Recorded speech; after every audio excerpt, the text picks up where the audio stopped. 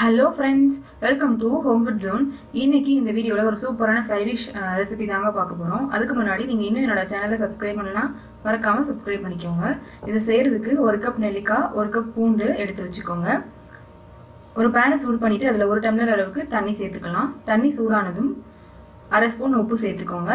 தண்ணி கொதி வந்ததும் கூடவே நம்ம எடுத்து வச்சிருக்கிற நெல்லிக்காய் இருக்கு இல்லைங்களா அதை சேர்த்துக்கலாம். இதை ஹை ஃப்ளேமில் ஒரு ரெண்டுலேருந்து மூணு நிமிஷம் நல்லா கொதிக்க விட்டு எடுத்துக்கோங்க. இது நல்லா கொதி வந்ததுக்கப்புறமா ஸ்டவ் ஆஃப் பண்ணிவிட்டு இந்த தண்ணியை வடிகட்டிட்டு நெல்லிக்காய் மட்டும் தனியாக எடுத்து வச்சுக்கோங்க. இதை நல்லா ஆறட்டும். அதுக்குள்ளே ஒரு சின்ன பேன் வச்சுட்டு பேன் சூடானதும் அரை ஸ்பூன் கடுகு அரை ஸ்பூன் வெந்தயம் சேர்த்து எண்ணெய் சேர்க்காம வறுத்து எடுத்துக்கோங்க.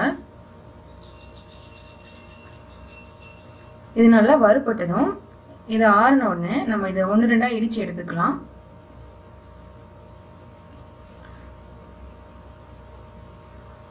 இதை அப்படியே தனியாக எடுத்து வச்சுக்கலாம். இப்போது பேனை சூடு பண்ணிவிட்டு அதில் நாலு டேபிள் ஸ்பூன் அளவுக்கு நல்லெண்ணெய் சேர்த்துக்கலாம்.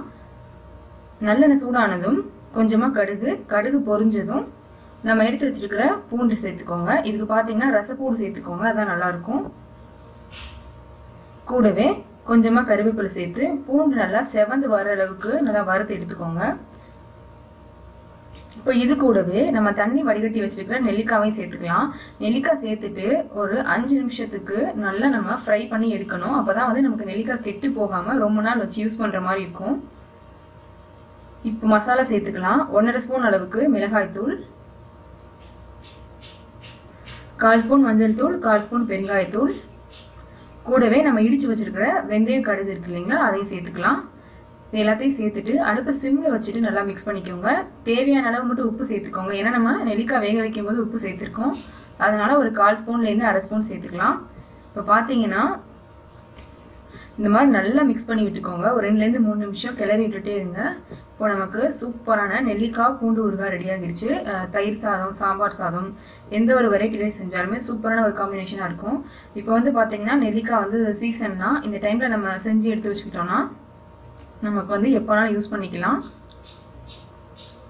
இந்த ரெசிபி உங்களுக்கு பிடிச்சிருந்ததுனா லைக் பண்ணுங்கள் ஷேர் பண்ணுங்கள் கமெண்ட் பண்ணுங்கள் கண்டிப்பாக ஹோம் ஃபுட் ஜோனுக்கு சப்ஸ்கிரைப் பண்ண மறக்காதீங்க. இதே மாதிரி நான் ஒரு நல்ல ரெசிபியோட வந்து வெயிட் பண்ணுறேன் பாய்